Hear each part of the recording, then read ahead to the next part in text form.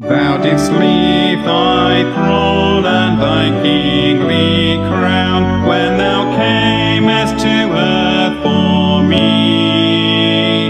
But in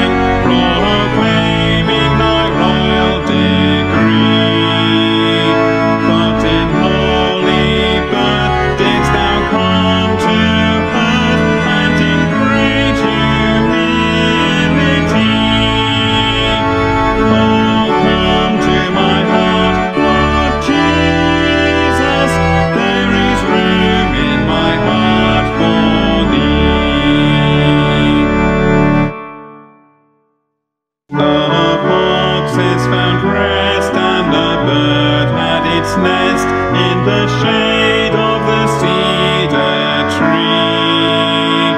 But thy couch was the sod, O thou son.